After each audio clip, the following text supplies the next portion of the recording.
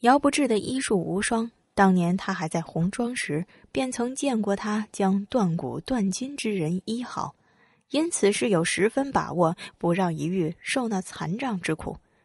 当然，前提是他能够抓到姚不治这只四处逃窜的狡狐。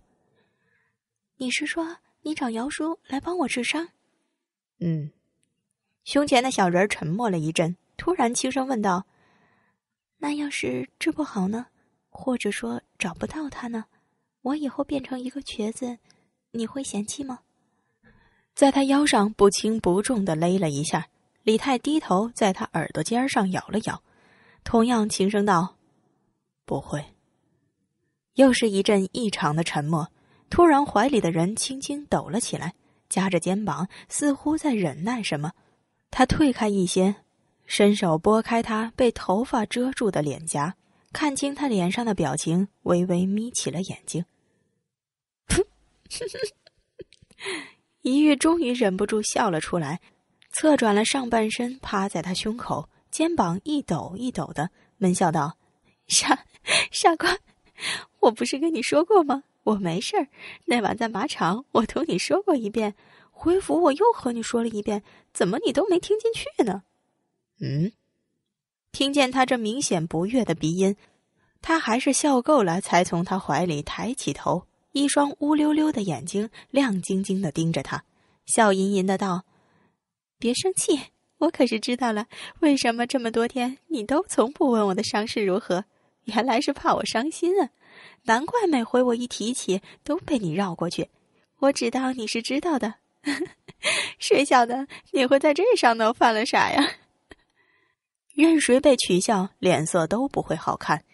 一月没敢再继续逗他，清了清嗓子，就将那晚他那一刀刺下去的猫腻讲了出来。人的大腿骨异常坚硬，除非是剧烈的撞击，否则很难断裂。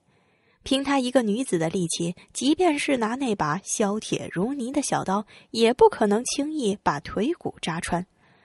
因此，那时一刀刺下去，她是专门挑了靠近膝盖往上，保持竖直的刺入，选了皮肉最多的角度，一刀没入，喷出那么多血出来，只留了刀柄在外，看着是可怖，人很难不当他腿上筋脉断裂。但实际上，那小银刀刀身异常薄软，完全可以避开腿筋。只要他不乱动，不抽刀柄，很大可能避免断腿。大蟒山一行在药谷里，他被柳官打断多处筋骨，养了半年才妥。萧庭的师门有一偏方秘药，名为净血散，可以下肢血脉回流。离别前，两人互赠，他是得了他几粒药丸。正好那晚让平童找出来用上，接连服用，等到他伤口开始愈合才停药，这便让他腿上血脉不致淤积。于是头晚上李太医才会断他左腿会残，今日再诊时察觉他血脉运行顺畅，这才会奇怪。因为长孙熙的缘故，一玉没打算把他腿伤不重的事情节外生枝，也就没对李太医详细解释。只让他误会便好，谁晓得就连李泰也被绕了进去。那一刀若是刺偏，该当如何？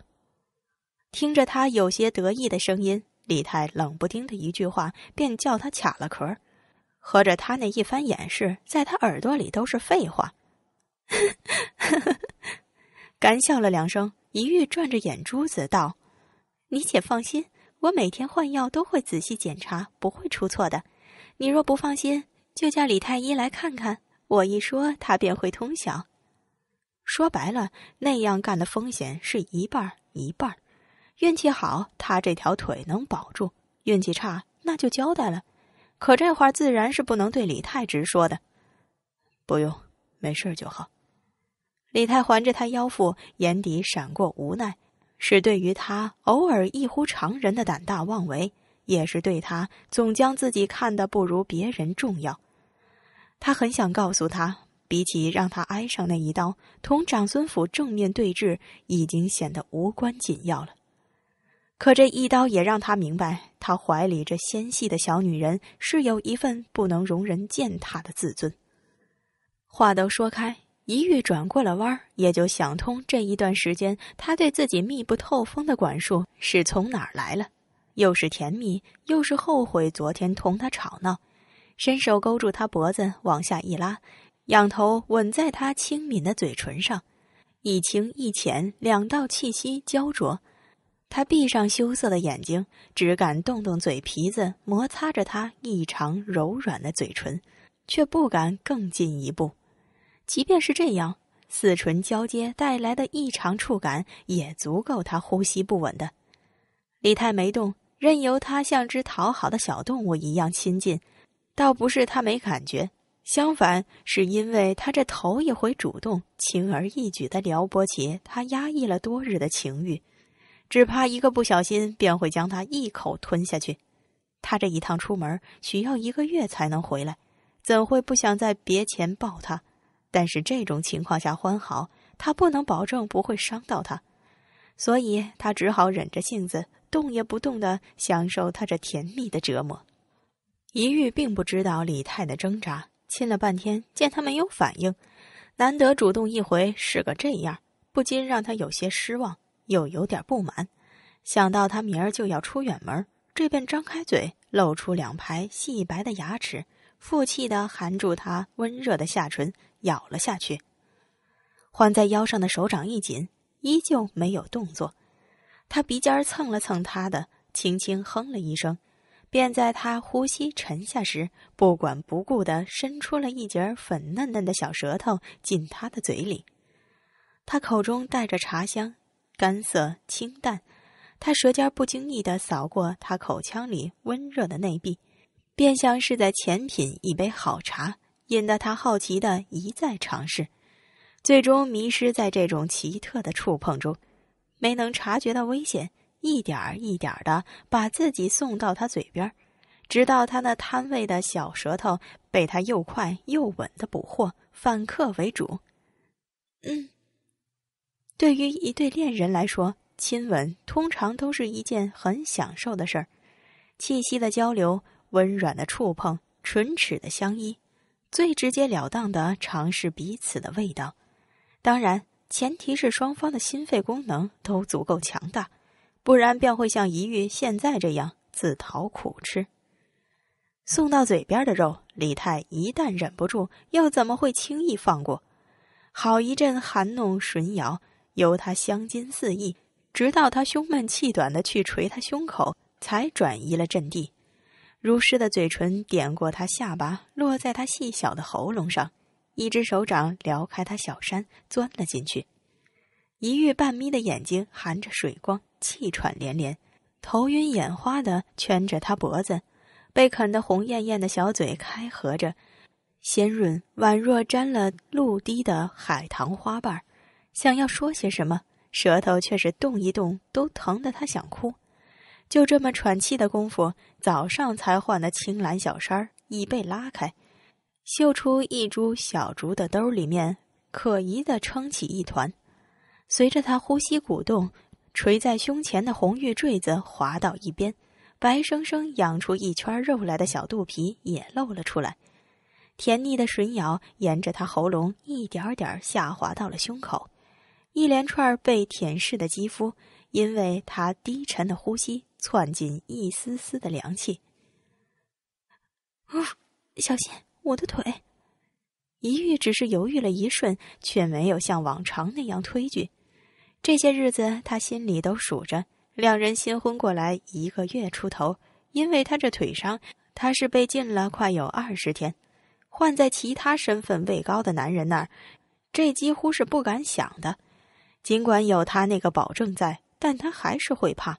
更何况他将要外出，天知道这男人吃起肉来劲头是有多大。他又不能盯着，谁能保证他不偷腥儿？颈后的绳子被解开，胸口一凉，湿漉漉的亲吻附上来。他只低头看了一眼，便羞得撇过头去，任他肆意的把玩胸前的绵软，直到他被撩得两腿微微发抖。异常甜腻的哼咛了一声出来，埋在胸口的脑袋却突然停下动作，他迷迷糊糊的低头去瞧，正对上他绿的诱人的眼睛。抬头见他朦胧情动的娇态，李泰是下了十成毅力才松了口，而不是任由那只已经撩开他裙摆的手掌继续下去。拉好她裙子，合上她小衫，手臂一收，重新将她抱在胸前。李泰调整了呼吸。闻着他身上药腥味里不自觉地散发出来的情香，很是艰难的不再动弹。一玉满脸红晕的枕在他绷得硬邦邦的胸口，一手揪着小衫遮蔽里面的空当，眼珠子一转，落在他腿窝鼓胀起的一处，耳朵烧起来，小声道：“你没事吧？”“没事儿。”他嗓音低沉又沙哑，很是磨人耳朵。听得他背脊一麻，又有点酸酸的。他这副模样，到底是不能叫他如何？想必他是憋得慌，却又不敢伤他。这般怜惜，叫他如何不爱？咬了咬肿胀的嘴唇，他心一横，便抖着胳膊伸出小手来，摸向他那处，只是将将碰到，手指一烫，便被他擒住了腕子。别动！李太闷声道。若是一遇回头，必能见他脸上一丝微红。可他这会儿是顶着头皮硬上，哪敢回头看他半眼？我，我，这话要让他说出口来，却是比叫他主动更难。只当他都丢了脸皮逢迎他，他却还一副不愿意的态度。羞到极了，变成恼，他也不吭声，兀地伸出另一只手来，横冲冲的摸了上去。隔着两层衣料，掌心也被烧得厉害。他愣了一下，打了个哆嗦，这才想清楚自己是在干嘛，慌忙要缩回手，却被他负着掌心重新按了回去。你什么？李泰的声音贴着他耳膜传来，拨动着他心弦，像是受了某种蛊惑。他心口发颤，同他一道陷进这难耐的情爱里。不知十九。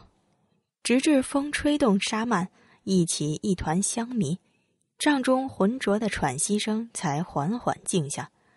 又过了一会儿，稀疏的衣料摩擦声之后，床帐被撩起，一声让人听着略是昏沉、懒散的男声响起：“打水来。”不及门外候了半晌的下人应声，便又是一声女子的闷斥：“你自己去。”李太偏头看着床里紧紧闭着眼睛、红着耳朵尖的一玉，眼神微妙，摸了摸他脑袋，起身下床。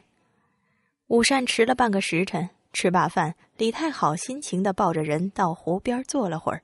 只是昨天还老想着在外面呼吸呼吸新鲜空气的一玉，这会儿只恨不得能钻到床上不见人。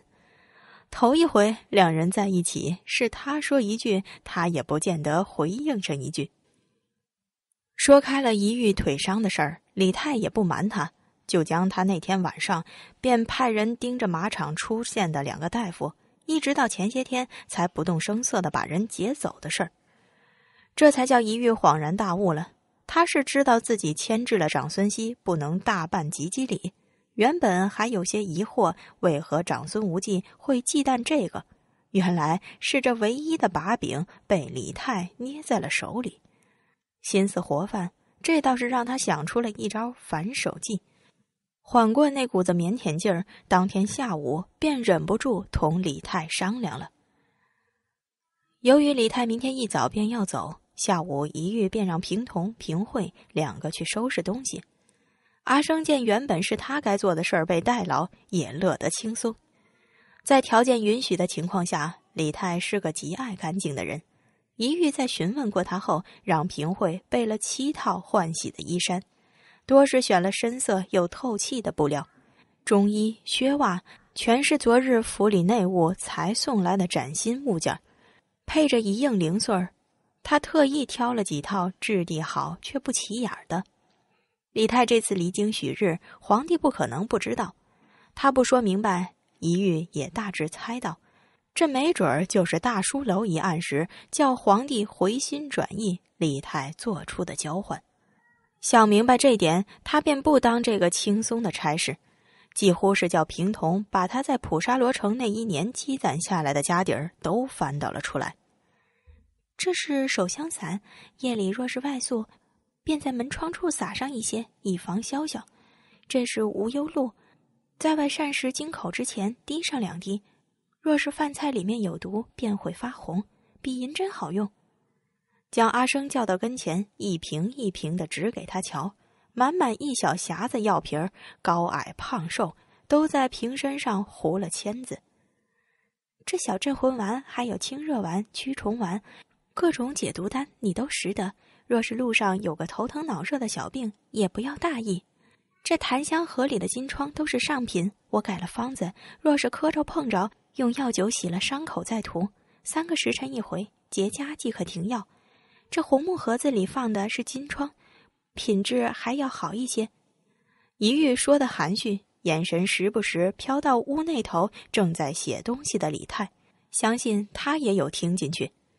还有这一瓶，一玉小心翼翼地捏着一只细颈瓶，递到阿生面前，慎重道：“随身放着，塞子拧好，莫要洒了出来。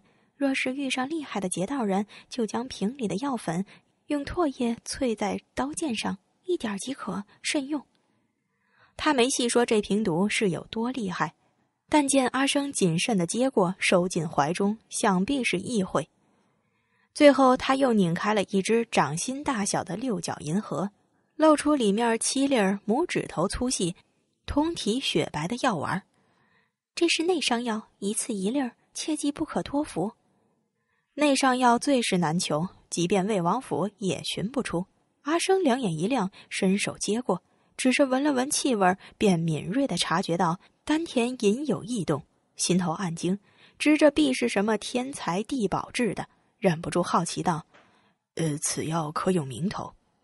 一玉摇头：“这百回丹是我自拟的方子，外头没见，哪来的名头啊？”想一想，又补了句：“若论造价。”这一粒儿所用的药材，可抵得上府里一年的收入。你好生收着便是。手一抖，阿生赶忙将那盒子盖上，也同样收进了怀里，冲一玉咧开一口白牙：“王妃放心，属下定当仔细服侍王爷，不出差错。”一玉看向李泰，正对上他抬头望来的目光，轻笑一声，掩饰心底的担忧，点头道：“出门在外，你们自己也当小心。”多谢王妃叮嘱，阿生乐呵呵的抱着药匣去忙别的。这一通准备下来，也到了晚膳时候。吃过饭，洗漱后，屋里的下人都被平童撵了出去，只留一玉和李泰两个躺在床上，倒没坐旁的逆事。他偎在他肩头，说着些琐碎，凭他宽厚的手掌一下一下抚着他背脊，直到睡去。第二日天还未亮，李泰便起身，一玉打着哈欠，侧了身子，屈臂半枕耳侧，眯缝着眼睛瞧他梳洗更衣，有一搭没一搭的同他说话。从文学馆新改的夜宿制，到昆园路成稿的几卷上头一些遣词造句的小毛病，什么都讲，就是不谈离别。李泰折着袖口玉金色的香边，在床边坐下。一玉趴在枕头上，笑呵呵的伸手去拨了他干燥又修长的手指，让他弄不好袖子上的褶皱。李泰干脆捉住他捣乱的小手，看着他被枕头压扁走样的小脸上，笑容里藏不住的一点落寞和不舍。事情办完，我会尽快回来。哦，老实待在府里。嗯，夜里少看些书。好。我走了，松了他手。李泰起身，一遇鼻子一酸，一手赶忙扯住他衣袖往回拉。若是我没受伤，是不是这趟就同你一起去了？我记得你说过，等大树楼的案子结了，就带我出去散心的，是不是？李泰摸摸他毛茸茸的小脑袋，算是默认。这下可是让一玉大为恼火，又在心里给长孙熙记上一笔。把这回两人离别也算在他头上。你快走吧，莫叫外头人等了。明知不该迁怒，可还是闷得不想理他，一手捂着眼睛，一手冲他胡乱的挥了挥。见他使小性儿，李泰眼底有了笑意，心中不舍，反被挥散。抓住他乱挥的小手，弯腰在他撅起的小嘴上啄了一下，轻声道：“放心，放心什么？”嘴边的温热一离，一玉回过味儿来，拿下手，连忙扭过头去，却只见他在屏风后头一闪即逝的背影。